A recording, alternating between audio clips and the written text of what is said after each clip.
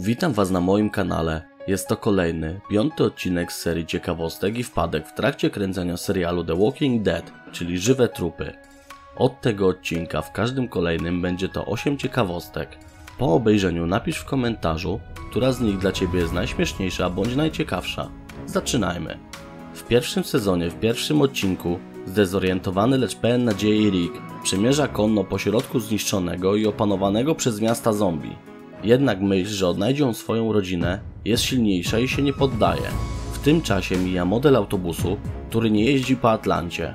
W drugim sezonie, w siódmym odcinku, Maggie zdradziła tajemnicę Glenowi, że w stodole znajdują się sztywni. Dokładnie rodzina i przyjaciele rodziny Greenów. Po usłyszeniu tego, Glenn przekazał tą informację reszcie swojej grupy ocalałych. Gdy tylko usłyszał to Shane, natychmiast chciał pozbyć się szwendaczy, ponieważ ta stodoła znajdowała się zbyt blisko ich obozu. Udał się do kampera Dale'a po broń, ale nie znalazł tam ani jego, ani rzeczy. Po śladach odnalazł mężczyznę w środku lasu na bagnach. W trakcie dyskusji można zauważyć ślad lufy broni Dale'a na koszulce Shane'a, jeszcze przed przyłożeniem broni do jego klatki piersiowej. Trzecim sezonie, w trzecim odcinku, gubernator wraz ze swoimi ludźmi dociera do miejsca, w którym rozbił się helikopter z żołnierzami sił amerykańskich.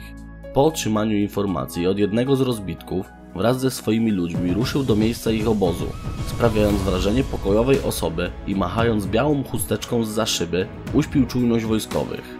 Dodatkowo przekazując imię ich kolegi z rozbitego śmigłowca. Wtedy gubernator ze swoimi ludźmi wystrzelał ocalałych żołnierzy, Dobijając jednego z nich, ubrudził kolbę krwią. Jednak po chwili, gdy jeden z rannych uciekał, wymierzył do niego z broni, która już była czysta. W czwartym sezonie, w dziesiątym odcinku, Karol zjawia się na pomoc Tyrisowi, a w szczególności dziewczynkom, które są atakowane przez szwendaczy. Gdyby nie kobieta, dzieci zapewne nie poradziłyby sobie w tej sytuacji. Karol, stojąc naprzeciwko ojca Christophera, chowa swój nóż. Jednak w następnej scenie widać, że kobieta dalej trzyma go w ręce. W szóstym sezonie, w trzecim odcinku, zaniepokojony Daryl, słysząc dziwne odgłosy w radiu i brak odpowiedzi ze strony Rika, postanowił zawrócić do miejsca, w którym był szeryf. Gdy kamera pokazuje hamulec od motoru, widać jego uszkodzenie. Natomiast w następnej scenie jest on już całkowicie sprawny i Daryl mógł ruszyć na pomoc i sprawdzić, czy wszystko jest dobrze.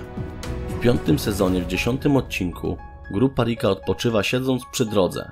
Są bardzo spragnieni i mają słabe morale, pewnym momencie ksiądz Gabriel z ogromnym smutkiem na twarzy pali swoją koloratkę w ognisku. Grupa podróżując dalej i szukając bezpiecznego miejsca i wody napotyka stodołę.